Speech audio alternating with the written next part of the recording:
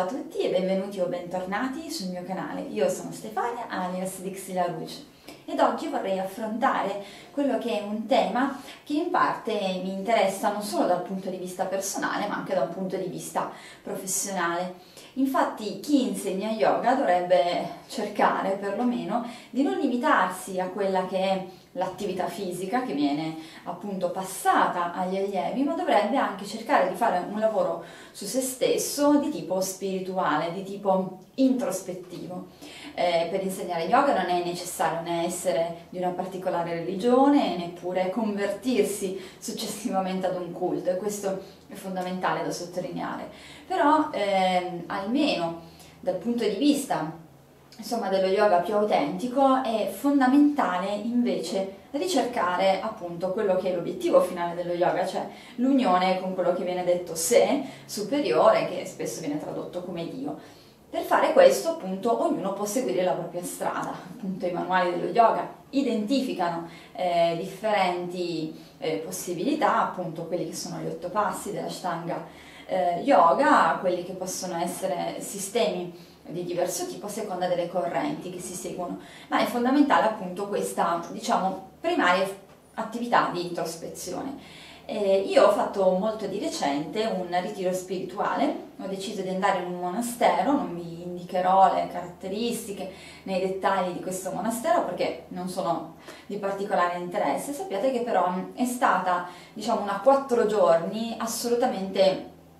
strana e assolutamente rigenerante, quindi mh, ci sono in realtà stati eh, diversi momenti, soprattutto all'inizio, in cui appunto ho colto eh, quello che era il momento di crisi necessario per eh, cogliere invece poi ehm, il meglio dall'esperienza e poi è andato tutto liscio. Allora, eh, essenzialmente appunto in questo ritiro spirituale io mi sono occupata di eh, pregare, di meditare, leggere, eh, isolando me stessa da quelle che potevano essere le distrazioni provenienti dalla vita di tutti i giorni. Eh, appunto nel posto in cui sono andata non si guardava la televisione, non si ascoltava la radio, eh, le camere per ognuno erano singole, per cui eh, non era possibile appunto interagire se non al di fuori dei micro momenti comunitari con le altre persone, proprio allo scopo di riscoprire se stessi e di fare una specie di esame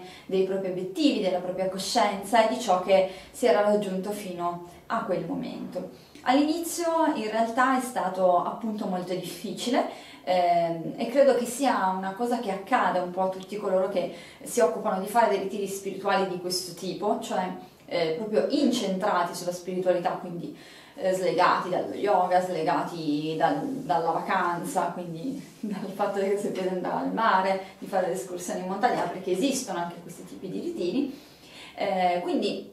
in tale tipo di ritiro, appunto legato esclusivamente alla parte introspettiva, c'è eh, un momento appunto di crisi, eh, quasi di rifiuto. Eh, uno inizia a pensare di voler andare via, di voler concludere la propria eh, esperienza quasi immediatamente, proprio perché credo che sia una reazione appunto abbastanza normale. La nostra mente tende a spingere fuori tutto ciò che eh, potrebbe alterare il, l'equilibrio, comunque la quotidianità eh, che si era creata fino a quel momento. Appunto interviene quello che si chiama parinam, il cambiamento, però questo crea ovviamente una sofferenza iniziale nell'essere umano. L'importante appunto a questo punto è che cosa? resistere e andare avanti. Infatti, dopo il primo momento di crisi in cui ho iniziato a dire ah, non posso farcela, voglio eh, riavere appunto le mie comodità, addirittura anelare alla tecnologia, eh, è arrivato il momento appunto della crisi positiva, quindi in una meditazione, in una concentrazione profonda, essenzialmente tutto si, è, tutto si è chiarito. E quindi da quel momento in poi il ritiro è stato splendido, magnifico, eh, proprio perché ho avuto la possibilità di farmi mettere in crisi da questa esperienza. Eh, e credo che indipendentemente dal proprio retaggio religioso, dalla propria cultura, dal proprio background, così come lo vogliamo chiamare, tutti dovrebbero fare un'esperienza di questo tipo. Si esce da un ritiro spirituale sicuramente diversi, se lo si affronta in maniera ovviamente consapevole e seria, quindi se non ci si lascia comunque coinvolgere da ciò che avviene all'esterno, ma se si apre un dialogo profondo con noi stessi e se si riesce appunto a aprire non solo la mente ma il proprio cuore a ciò che andiamo ricercando, la possiamo chiamare appunto felicità, completezza e così via. Quindi credo che tutti dovrebbero fare un'esperienza del genere, non solo una volta nella vita, ma diverse volte nella vita, però almeno una volta nella vita, semplicemente per creare un punto di svolta e per eh, iniziare veramente un vero rapporto con noi stessi e anche con la nostra spiritualità.